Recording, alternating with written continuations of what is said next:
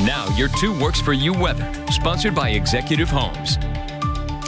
Unfortunately, we have some thick smoke right now moving in from the west. It will continue to get thicker over the next couple of hours. A very smoky sunset is on the way, just like last night. You can see on the satellite picture all that smoke moving in from the west, originating out over the Rocky Mountains. A lot of wildfire activity in that parts of the United States as well. This is a live look now from the BOK Tower looking off towards the west. This part of Dave's Claremore RV Weather Camera Network, and that is all smoke.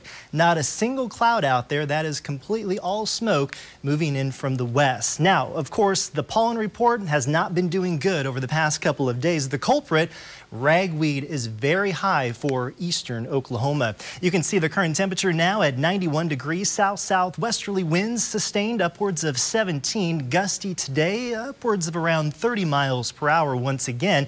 The official daytime high today was 93 degrees. With those changes on the way, way, but not getting too cold on your latest 10-day forecast. The computer weather models have warmed up the solutions over the next couple of days with those morning lows and daytime highs. Upper 80s now in Muskogee. We have Okmulgee also into the upper 80s and 89 for our viewers out to the west in Bristow. Sustained winds now in Bartlesville, 15 miles per hour, 13 in Pryor. Again, those gusts today upwards of 30. Still breezy conditions in our forecast for tomorrow ahead of a very strong cold front moving in from the northwest. You can see an increasing chance for some showers and thunderstorms, especially starting just to the west of our viewing area by tomorrow night. It's going to be hard to get those showers in throughout eastern Oklahoma.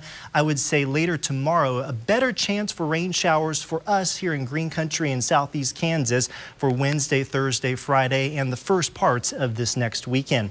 Our morning low forecast in T-Town down to 76 degrees.